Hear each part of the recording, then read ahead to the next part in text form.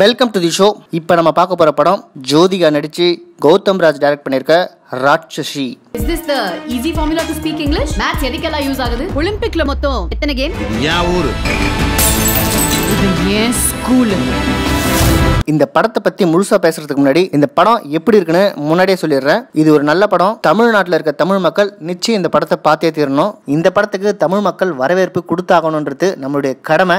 இந்த படம் இப்போ எப்படி வந்திருக்குன்னு கேட்டிங்கன்னா ரொம்ப சூப்பராக வந்திருக்கு. நிச்சயமாக இந்த படத்தை பார்க்கலாம். இந்த படத்துடைய கதையை பார்க்கலாம் வாங்க. ராட்சசின்ற டைட்டில் எதுக்காக வந்தது? நீங்கள் இந்த படத்துடைய ட்ரெய்லர் பார்க்கும்போது இது என்ன மாதிரியான கதைன்னு உங்களால் கணிக்க முடியும். ஒரு ஸ்ட்ரிக்டான ஸ்கூல் ஹெட் மாஸ்டர் ஒரு சின்ன கிராமத்தில் இருக்க ஒரு பழைய கவர்மெண்ட் ஸ்கூலை கண்ட்ரோல் எடுத்துக்கிட்டு எப்படி புது புது நல்ல திட்டங்களை எடுத்துட்டு வந்து அந்த ஸ்கூலையும் அந்த ஸ்கூலில் இருக்க டீச்சர்ஸையும் அதில் படிக்கிற ஏழை மாணவர்களை எப்படி திறன்பட முன்னுக்கு கொண்டு வராங்கன்றது தான் இந்த படத்துடைய கதைன்னு நீங்கள் ஈஸியாக சொல்லிடலாம். கதை என்னவோ அதான். ஒரு ஸ்ட்ரிக்டான ஸ்கூல் ஹெட் மாஸ்டர் அப்படின்றதுக்காக தான் ராட்சசி வச்சிருக்காங்களா அப்படின்னு பார்த்தீங்கன்னா இல்லை. இந்த படத்தில் ஒரு சீனில் ஜோதிகாவோட அப்பா விடியகால போய் பார்க்கும்போது தூக்கத்திலே இறந்துருப்பாரு. அப்போ ஜோதிகா அவரை தொட்டு பார்த்து கொஞ்சம் கூட கலங்காம டாக்டருக்கு ஃபோன் பண்ணி வர வச்சு இவர் இறந்துட்டாருன்னு சர்டிஃபை பண்ணுங்க.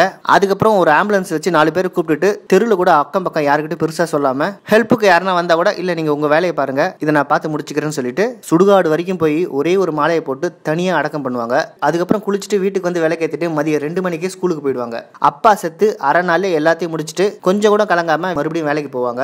இந்த படத்துல இந்த ஒரு சீன் மிகப்பெரிய போல்டான அட்டம் இதுக்கு பேர் தான் ராட்சசி. படம் பார்த்த அத்தனை ஆடியன்ஸுமே இந்த ஒரு சீனில் உறைஞ்சு போயிட்டாங்க. இந்த மாதிரி ஸ்கூல் காலேஜ் சம்மந்தப்பட்ட கதைகள்லாம் படமாக்கும் போது அதில் முக்கியமான ஒரு விஷயத்த எல்லா படத்துலையும் ஹைலைட் பண்ணுவாங்க. அது என்னன்னா அந்த ஸ்டூடெண்ட்ஸ்குள்ளே இருக்க லவ் நீங்கள் ஹிந்தியில் நிறைய படம் மாதிரி பார்த்துருக்கலாம். ஸ்டூடெண்ட் நம்பர் ஒன் இப்போ கூட மலையாளத்தில் ஒரு படம் வந்துச்சு. ஒரு அடார் லவ்ன்ட்டு அந்த மாதிரியான கன்றாவியான குப்பை படங்களுக்கு யூடியூப்பில் மில்லியன்ஸ் ஆஃப் வியூஸ் இருக்குது அந்த படத்துடைய சாங்ஸ் அண்ட் சீன்ஸ்க்குலாம் அதையெல்லாம் ரிவ்யூ பண்ணுறதுக்கும் பீத்திக்கிறதுக்கும் ஒரு மிகப்பெரிய டீமே இருந்தது. ஆனால் இந்த படத்தில் அந்த மாதிரியான லவ் அண்ட் அஃபெக்ஷன் ரெண்டு மூணு சீனில் காட்டுவாங்க. அதை ஈஸியாக அழகாக கடந்து போயிடுவாங்க.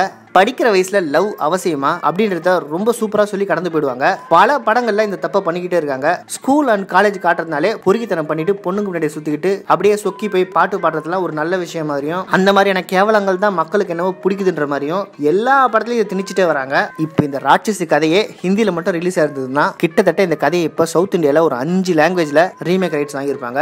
ஆனா இப்போ நம்ம ஊர்ல ரிலீஸ் ஆயிருக்க இந்த படத்தை நம்ம ஆளுங்களே பெருசா போற்றி பேசுறது இல்ல இதுதான் இங்க இருக்கிற அரசியல். நமக்கு என்ன தேவையோ எது முக்கியமோ அதை பத்தி பேசுறவங்கள நம்ம பைத்தியக்காரனா பாக்குறது நம்ம கிட்ட இருக்க கெட்ட புத்தியில ஒண்ணு.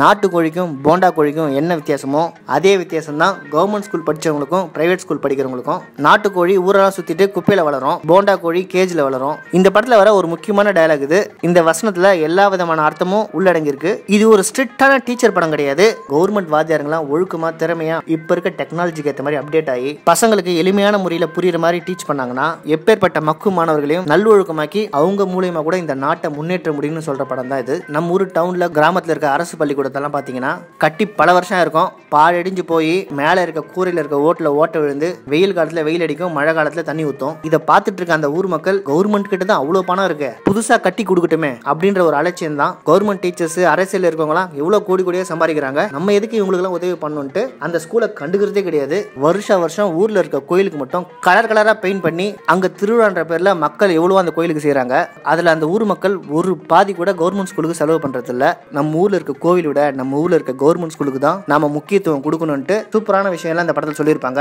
இந்த படத்துக்கு நிறைய எல்லா சைட்ஸ்லையுமே இந்த படத்துக்கு இன்னைக்கு ரேட்டிங் ரொம்ப ஆவரேஜான ரேட்டிங் தான் கொடுத்துருக்காங்க. Two star two point five star அவ்வளோதான் கொடுத்துருக்காங்க. ஒரு சில சேனல்ஸ்லாம் இந்த படத்தை பற்றி ரொம்ப சுமாரான ரிவ்யூ தான் கொடுத்துருக்காங்க. படம் ரொம்ப ஆர்டிஃபிஷியலாக இருக்குது உண்மைத்தன்மைக்கு குறைவாக இருக்குன்ட்டு அப்படிலாம் ஒன்றுமே இல்லை.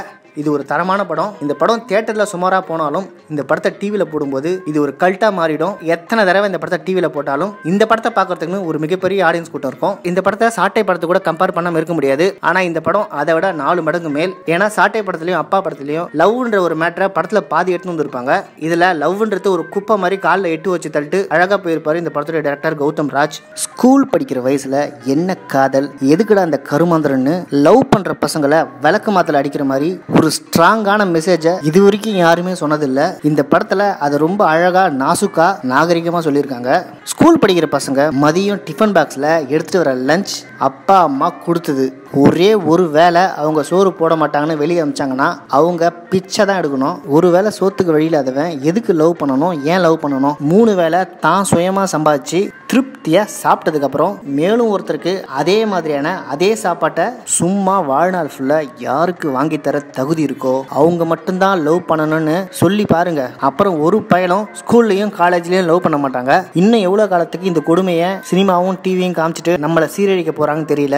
இந்த படம் அதுக்கு விதிவிலக்கு. இது எப்படி பசங்கெல்லாம் படிக்கணும்னு சொல்கிற படம் இல்லை. எதுக்கு பள்ளிக்கூடம்? எதுக்கு இந்த டீச்சருங்களாம் இருக்காங்க? ஏன் படிக்கணும்? அப்படின்னு சொல்கிற தரமான படம். நம்ம வாழற இந்த வாழ்க்கையில் நிறைய மாற்றங்கள் தேவை. அதை பிள்ளைகள் படிக்கிற பள்ளியில் இருந்து தான் துவங்கணும்னு சொல்கிறாங்க அதுதான் best solution for the system திருட்டு சிஸ்டத்துக்கு இது மட்டுமே மாற்று வழின்னு அழுத்தமாகவும் சொல்கிறாங்க அதை நாங்களும் ஆதரிக்கிறோம். இந்த மாதிரியான படத்தெல்லாம் குறை சொல்கிறது மிகப்பெரிய பாவம். இந்த மாதிரியான தரமான படத்துக்கும் என்னென்னமோ குறை சொல்லிட்டு ஒரு கூட்டம் தெரியுது. முப்பத்தாறு வயது நிலைன்னு ஒரு படம். இதே ஜோதிகா நடிச்சது தான் அந்த படம் மிகப்பெரிய சூப்பர் ஹிட் இத்தனைக்கும் அந்த படத்தோட கதைக்கும் நாம வாழற இந்த வாழ்க்கைக்கும் எந்த சம்மந்தமும் இல்லை. ஆனால் அந்த படம் ஹவுஸ்ஃபுல்லாக போச்சு. இப்போ இந்த ராட்சசி படம் பார்க்கறதுக்கு நான் பார்த்த தேட்டரில் வெறும் நாற்பத்தஞ்சு பேர் தான் வந்திருந்தாங்க. பிகாஸ் இங்கே நாளைக்கு சாக போகிற பழம் பெருச்சாலைகளை திருத்தறதும் மாத்துறதும் நம்ம வேலை இல்லை. நாளைய தலைமுறைக்கும் சமுதாயத்துக்கும் இங்கே இப்போ இவங்க பண்ணுற தவறுகளை சுட்டி காட்டி இவங்களுடைய இழிநிலையும் கேவலமான வாழ்க்கையையும் சுட்டி காட்டி இப்படிலாம் வாழக்கூடாது நேர்மையாக ஒழுக்கமாக வாழணும்னு சொல்லி சொல்லி நம் பிள்ளைகளை வளர்க்கணும்னு சொல்கிற படம் தான் இந்த படம். இது நம்ம ஊர் பிரச்சனையை பேசுகிற படம் நம்ம வாழ்க்கைக்கான மண்ணுக்கான படம். இதை வெளியிருந்து பார்க்குறவங்களுக்கு இதோட வழி தெரியாது சொன்னாலும் புரியாது. இந்த மாதிரியான கதையெல்லாம் தமிழ் சினிமாவில் யாரும் சும்மாலாம் தொட மாட்டாங்க. தன்னுடைய ஆழ் மனசில் பல நல்ல எண்ணங்கள் இருந்தால் மட்டுமே இது போன்ற நல்ல படைப்புகளை படைக்க முடியும். எப்பயாச்சும் அத்தி பூத்தார் போல் தான் இந்த மாதிரியான அரிய படைப்புகள் பொக்கிஷங்கள் தமிழ் சினிமாவில் வருது. இதையெல்லாம் போற்றி பாதுகாக்க வேண்டியது நம்ம கடமை. இப்பேற்பட்ட படைப்பாளிகளுக்கு காப்பாற்ற கை கொடுக்கலனாலும் பரவாயில்ல. அவங்கள காலவாரி மட்டும் விட்டுறாதீங்க இந்த படத்தெல்லாம் சுமாரான படம் அப்படின்னு சொல்ற இந்த வியாபார உலகத்துக்கு நான் ஒன்று சொல்றேன். கழுத மாதிரி நம்ம கடிவாளம் கட்டிட்டு தெரியிறோம். நமக்கு எது தேவை எது பிடிக்கும் எது அவசியம்னு எவன் எவனோ தீர்மானிக்கிறான். யார் யாரோ கண்ட கண்ட குப்பையெல்லாம் நம்ம தலையில சூப்பர்னு சொல்லி கொட்டுவான். அதையும் கொஞ்சம் கூட யோசிக்காம ஏத்துக்கிற மனநோயாளியா பல பேர் இப்ப மாறிட்டாங்க. நமக்கு எது தேவை எது தேவையே இல்லைன்னு தீர்மானிக்க வேண்டியது நம் மண்ணில் வாழும் மக்கள் தான் தீர்மானிக்கணும். அதனால யார் இந்த படத்தை பத்தி குறை சொன்னாலும் அதை பெருசா நம்பாதீங்க. அப்படி இந்த படத்தை பத்தி குறை சொல்றவன் தான் உண்மையான ஆன்டி இந்தியன் தமிழ்நாடு கவர்மெண்ட் ஸ்கூல்ல நடக்கிற அத்தனை பிரச்சனைகளுக்கும் இந்த படத்துல சொல்யூஷன் சொல்லியிருக்காங்க. இந்த படத்துல ஸ்கூலை பத்தி பேசப்படாத அவலம்ட்டு ஒண்ணு கூட இல்ல. எல்லாத்தையுமே டச் பண்ணியிருக்காங்க. எந்த கொடுமையை டச் பண்ணல எதை காட்டலன்ட்டு நம்ம யோசிச்சா கூட ஞாபகம் வர மாட்டேங்குது. அந்த அளவுக்கு எல்லா ஏரியாலும் கை வச்சிருக்காங்க. பிரைவேட் ஸ்கூல்ல இருந்து ஸ்கூல் பசங்களுக்குள்ள நடக்கிற ஜாதி பிரச்சனை வரைக்கும் எல்லாத்தையும் அரசு ஆராய்ஞ்சிருக்காங்க. சூப்பரான டீடைல் ஒர்க் பண்ணிருக்காரு இந்த படத்தோட டேரக்டர் கௌதம் ராஜ். அவர் நிச்சயம் பாராட்டி ஆகணும். எவ்வளவோ ஓடாத குப்பை படங்களுக்கெல்லாம் நம்ம இந்திய அதிகாரம் அங்கீகாரம் கொடுத்துருக்கு. நீங்க வேணா பாருங்க அடுத்த வருஷம் இந்த படத்துக்கு ஒரு சின்ன அவார்டு கூட அனௌன்ஸ் பண்ண மாட்டாங்க. இதுவே அவங்க அவார்ட் லிஸ்ட்ல இருக்க படத்தையும் பாருங்க. ரொம்ப ரொம்ப அற்புதமா இருக்கும். அதுக்கெல்லாம் உயர்ந்த அங்கீகாரம் கொடுத்துட்டு நம்மள பாருங்கன்னு வேற கட்டாயப்படுத்துவாங்க. படத்தோட மியூசிக் சாண்ட் ரோலாண்ட் நம்மள டிஸ்டர்ப் பண்ணல. படம் போற போக்கில் நம்ம பாட்டை கவனிக்கிற மாதிரி இல்லை. இந்த படத்தை பத்தி ஆவரேஜ் ரிவ்யூ கொடுத்தவங்களும் சுமாரான ரேட்டிங் கொடுத்தவங்கள பத்தி நான் என்ன சொல்லணும்னா அவங்கலாம் கண்டிப்பா கவர்மெண்ட் ஸ்கூல் பக்கம் போயிருக்கவே மாட்டாங்க.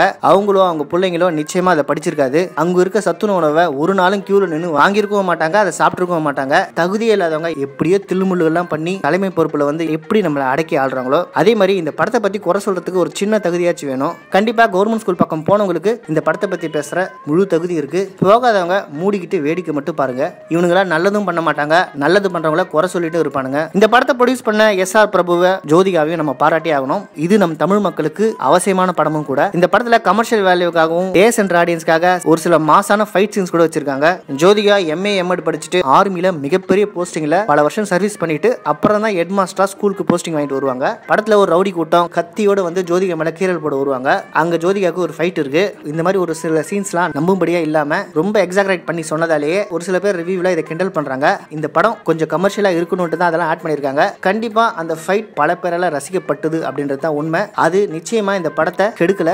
ஹிருத்திக் ரோஷன் நடிச்ச சூப்பர் தேர்ட்டின்னு ஒரு படம் வருது. அதுவும் கிட்டத்தட்ட இதே மாதிரியான கதையம்சம் கொண்ட படம் தான். நீங்க பாருங்க அந்த படம் ரிலீஸ் ஆனதுக்கு அப்புறம் ஆல் இந்தியா ஃபுல்லா அந்த படத்தை பத்தி எவ்வளவு பொறுமையாக பேசுறாங்கட்டு ஹிந்தினா ஒரு பேச்சு தமிழ்னா ஒரு பேச்சு. இதுதான் நம் தேசத்தின் மூச்சு. இன்னைக்கு இந்த படத்தை கூடவே கலவாணி டூ படமும் ரிலீஸ் ஆச்சு. உண்மையை சொல்லணும்னா கலவாணி ஃபர்ஸ்ட் பார்ட்டுடைய கால் தூசி கூட இந்த படம் ஆகாது. விமல் ஓவியா நோ கமெண்ட்ஸ் வாகை சூடவான்ட்டு படம் எடுத்த ஒரு நல்ல டேரக்டர் தான் சர்க்குணம். வாழ்க்கை ஒரு வட்டன்ட்டு அவரும் காமிச்சிட்டார் இப்போ. ராட்சசி. இந்த படத்துல சின்ன சின்ன குறைகள் இருந்தாலும் அதையெல்லாம் பார்க்காம நிறைகள் ரொம்ப அதிகமா இருக்கிறதால பிளஸ் பாத்தீங்கன்னா இந்த படத்துக்கு மிகப்பெரிய அவார்ட்ஸ் எல்லாம் கிடைக்கணும்ட்டு எங்க டீம் இந்த படத்துக்கு சப்போர்ட் பண்றோம். இந்த படத்துக்கு நூறு மார்க் எவ்வளவு கொடுக்கலாம்னா இந்த படத்துக்கு தாராளமா நூறு மார்க் கொடுக்கலாம். டிக்கெட் காசு இரநூறுவாய்க்கு எவ்வளவு கொடுக்கலாம்னா இரநூறுவாய்க்கு மேல ஒரு ரூபாய் போட்டு இரநூத்தி ஒரு ரூபாவே கொடுக்கலாம். அந்த அளவுக்கு படம் பார்த்த எல்லாருமே சாட்டிஸ்ஃபைட் பண்ண தரமான படம் இது. ஸோ மிஸ் பண்ணாம பாருங்க. நாம கொடுக்குற ஒவ்வொரு பைசாக்கும் ஒர்த்தான படம். அடுத்த படத்தில் சந்திப்போம். நம்ம நாட்டுல அடிக்கடி தேர்தல் வந்துகிட்டே இருக்கு. பிரதமர்களும் மாறி மாறி வந்துகிட்டே இருக்காங்க. ஒரு ஸ்ட்ராங்கான பார்லிமெண்ட் அமையணும்னா என்ன செய்யலாம்? அதாவது சங்கர் சிமெண்ட் வாங்கி கட்டினா பார்லிமெண்ட் ரொம்ப ஸ்ட்ராங்கா இருக்கும். சங்கர் சிமெண்ட்ல கட்டினா சங்கர் திட்ட மாட்டாரா யார் அது?